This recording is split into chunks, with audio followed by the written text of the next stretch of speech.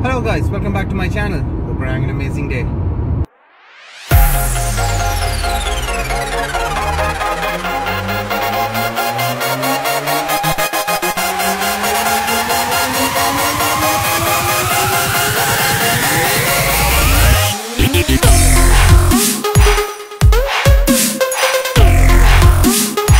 So now guys, I hope you all are keeping well.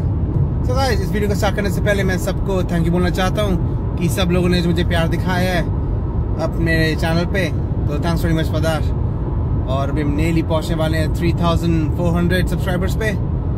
So so, पहुँचने वाले ज़्यादा दूर नहीं है। तो थैंक्स वेरी मच फॉर तो चलो करते हैं आज का ब्लॉग शुरू। तो आज का प्लान ये है कि आज मैं जा रहा हूँ फ्लाइंग करने के लिए कि बुलगो ऑलमोस्ट हो जाएँगे। दो महीने हो जाएँगे दो महीने के आसपास कि मैंने अभी तक अभी एयरक्राफ्ट नहीं उड़ाया है। तो मेरा प्लान ये है कि भी जाऊँगा मैं और जाके चेक करूँगा कि जो एयरक्राफ्ट है, वो फिट टू फ्लाई है कि नहीं। उसका वॉक अराउंड सब दिखाऊँगा आपको मैं। तो अभी का प्लान यही है कि वहीं जाएँगे, पहले वॉक अराउंड करेंगे, सब करेंगे और उसके बाद फिर फ्लाइंग के लिए चलेंगे। तो जो मैंने प्लान जो बनाया जाने का उसको आ जाएगा स्क्रीन पे, यहाँ पर। तो ये है प्लान जाने का। तो जो फ़्लाइट होगी, वो होगी वन आवर थर्टी मिनट्स की, जो कि वेदर परमिटिंग है कि अगर वेदर सही होगा तो हम जाके फ्लाइंग कर लेंगे। नहीं तो फिर मैं लोकली एयरक्राफ्ट उड़ाऊँगा, ज़्यादा दूर नहीं जाऊँगा मैं। कि पता नहीं कि बाई चांस वेदर ख़राब हो जाए, बारिश स्टार्ट हो गई तो मैं ज़्यादा दूर तक नहीं जा पाऊँगा। तो जो मैंने प्लान आपको भी दिखाया है तो होपफुली वेदर सही हुआ तो चले जाएँगे। तो मुझे जाकर पता चलेगा। तो जो जगह यहाँ से ज़्यादा दूर नहीं है, बोलूँगा ऑलमोस्ट एक घंटे की ड्राइव है। Fifty minutes to one hour की ड्राइव है तो ज़्यादा दूर है है, पर ज़्यादा दूर भी नहीं है। कंपेयर टू कोई ना कोई जगह में गया फ्लाइंग करने के लिए भी, और कोई ना कोई जगह थी, जैसे यहाँ से डबलिन टू वाटरफोर्ड तो वाटरफोर्ड एयरपोर्ट जो है, वो नियरली 200 किलोमीटर्स है डबलिन से। तो मैं वहाँ से जा रहा हूँ फ्लाइंग करने के लिए। तो देखा जाएगा कि जहाँ पे मैं जा रहा हूँ फ्लाइंग करने के लिए नावन एयरपोर्ट तो सॉरी नावन एयरफील्ड है वो। एयरपोर्ट नहीं है पूरा। मतलब एयरपोर्ट है, पर एयरफील्ड के अंदर आता है कि ग्रास स्ट्रिप है वो।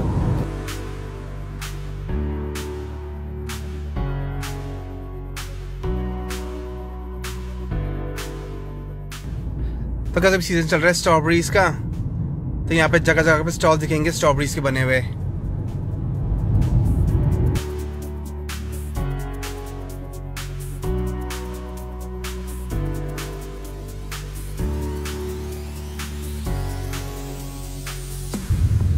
तो बस हम यहाँ पहुँचने वाले हैं लिटरली उनका एक मिनट में पहुँचने वाले हैं। जगह ज़्यादा दूर बची नहीं है।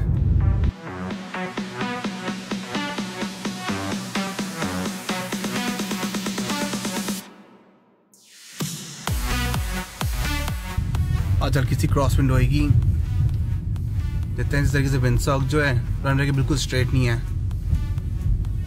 तो गाइस जो एयरक्राफ्ट है, वो स्मॉल पार्क रखा है लेफ़्ट साइड दिख रहा है वहाँ पर। वो साइड पे।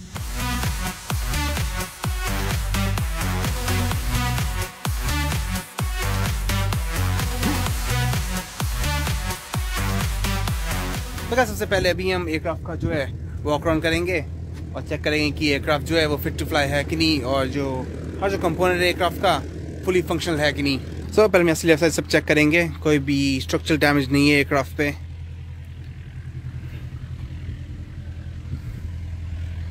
और चेक करेंगे टैंक में फ्यूल है कि नहीं।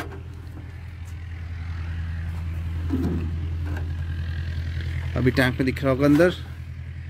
कि फ्यूल ज़्यादा है नहीं अभी। तभी हमको फ्यूलिंग करनी होगी एयरक्राफ्ट की।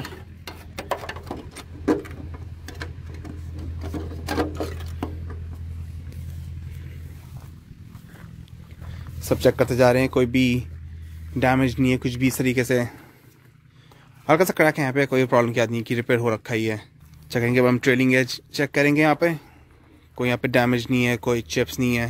तो ये जो स्टैटिक विक्स है तो जब एयरक्राफ्ट जब फ्लाई करता है तो उसकी जो एयर जब जाती है उसके ऊपर से तो फिर इतनी फास्ट हो जाती है, जो पूरी बॉडी होती है इलेक्ट्रिकली चार्ज आती है। तो पूरे चार्ज को डिसपेट करने के लिए तो स्टैटिक विक्स यूज़ होती हैं। तो ये स्ट्रक्चर से कनेक्टेड है इससे।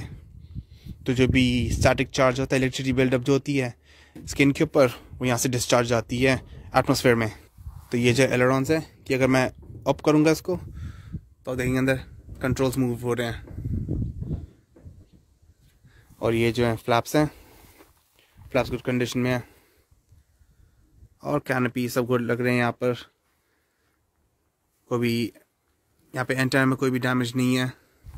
वो पीछे यहाँ पर आ जाएँगे एलिवेटर पे। तो अभी ये जो हॉरिजॉन्टल स्टेबलाइजर है, ये मूवेबल नहीं है। पर ये जो है, ये है एलिवेटर है ये। अभी लॉकर के अंदर कंट्रोल लॉक्स ऑन है अभी। तभी कंट्रोल लॉक में निकाले नहीं है। और ये जो ये होता है हॉर्न बैलेंस देखेंगे एक स्ट्रक्चर अलग से बाहर निकल रहा होता है ये। तो असेस करता है, जब फ्लाई कर रहे होते हो तो अगर आप ऊपर करेंगे तो फिर ये फ्लाई एलिवेटर पर जाएगा। और कंट्रोल लॉक निकाल लेता हूँ आपको दिखाने के लिए। तो ये कंट्रोल लॉक तो उसको यहाँ से निकालता हूँ मैं। अनस्क्रू करना है यहाँ से, इस नट को, और इस बोल्ट को निकालना है। मुझे टेक्निकली दो हाथ हाथ इस्तेमाल करने होते हैं। और उसमें तो मैं दो सेकंड में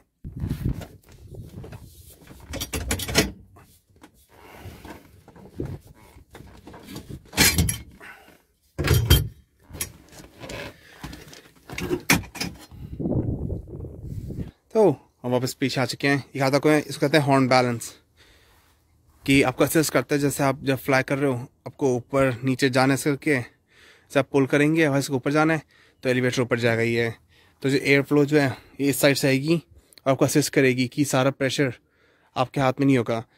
टेक्निकली विंड जो है, वो आपको असिस्ट करेगी कि आप फ्लाई कंट्रोल्स को आराम से मूव कर सकें। तो हम चेक करेंगे ये एलिवेटर को, कोई डैमेज नहीं है। और मैं चेक करें कोई डैमेज नहीं है, कोई भी नट मिसिंग नहीं है। और छोटी सी लॉक वायर होती है, इसके अंदर दिख रही है ये स्प्लिट पेन या स्प्लिट पेन में कोई प्रॉब्लम नहीं है, आपका लॉक वायर भी होता है।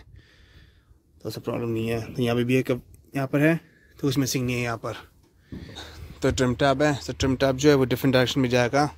जो जैसे कि आपने एलिवेटर को ऊपर किया है तो ये जो ट्रिम टैब है ट्रिम टैब फिर नीचे जाएगा। केसेस करने के लिए एरोडायनामिकली कि ऑपोजिट डायरेक्शन में वर्क करता ट्रिम टैग और सामने से भी एयरक्राफ्ट टेक ऑफ़ हो रहा है। जो भी पीछे जा रही है। और गया। और हम चेक करेंगे रडर को भी। तो ये होता है वर्टिकल स्टेबलाइजर है पूरा ये। और पीछे का जो पार्ट है ये रडर है। तो यहाँ पे चेक करेंगे। यहाँ पे लॉक वायरिंग हो रखी है। और स्प्लिट पिन है यहाँ पर। चेक करेंगे, हिला के चेक करेंगे, कोई प्रॉब्लम तो नहीं है। और फुल फ्री मूवमेंट है। और साथ सकते हैं पे भी हॉर्न बैलेंस है सामने ये। तो एग्जैक्ट सेम प्रिंसिपल पे काम करता है, जैसे ये वाला काम करता है। ये वाला भी एग्जैक्ट सेम काम करता है कि आपको एयर असेस करती है कंट्रोल करने में एयर फ्लाई कंट्रोल्स को। यहाँ पे चेक करेंगे, कोई डेबरी नहीं है अंदर, कहीं पे कुछ भी। यहाँ पे लिखा है नो पुश और ऑप्सेट लिखा था नो पुश तो लोग होते यूजली पुश करते हैं। तो मैंने कहा नो पुश और स्टार्टिक पोर्ट होता है ये हमेशा चेक करना चाहिए इस पर कोई पेंट नहीं है। अगर पेंट है तो कोई प्रॉब्लम की बात नहीं है। तो कोई ब्लॉकेज नहीं है इसके ऊपर। चेक करेंगे ये। बेल्ट जो है टेंशन है उस पर और ये जो है, ये स्टार्ट मोटर है। तो अंदर दिख रहा है, ये गेयर जो है ये ये बाहर आके इंगेज होता है इससे इस गेयर से। जो रोड ये गेयर बना रखा है, इसको जो कनेक्ट करता है प्रोपेलर को। तो तो स्टार्टर मोटर का जो गेयर से बाहर आता है, इससे कांटेक्ट करता है दूसरे गेयर से। दे सकते हैं, कि अंदर को आई है। तो जैसे कांटेक्ट में आके फिर इंजन को स्पिन करता ही है। और जब इंजन सड़ जाता है ऑपोजिट ट्रैक पर अपनी पोजिशन में, इस ऐसे पोजिशन में आ जाता ही है। और चेक करेंगे अंदर। बिल्कुल साफ़ है। यूज़ यूजली होता है कि बोर्ड जो होती अंदर आ जाती हैं यहाँ पर, और जाके बैठ जाती हैं। वो अपने नेस्ट बना लेती हैं। और चेक करेंगे यहाँ पे प्रोपेलर्स की ब्लेड कोई भी निक्स स्क्रैच टेंट कुछ नहीं है इसके ऊपर।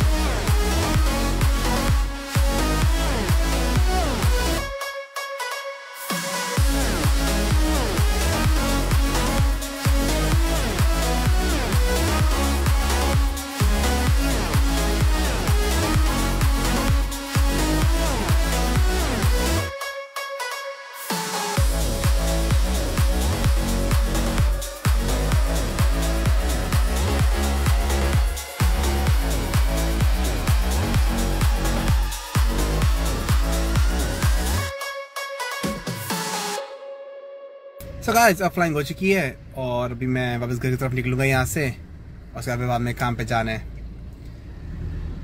तो आज तो दिन जो था, सही था। जब तक मेरा वो गोप्रो खो नहीं गया। और हमें काउजी देख रहे हैं यहाँ पर। ओ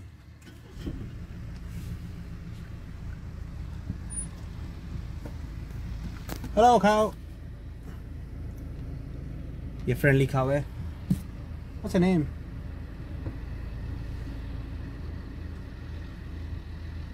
Hmm.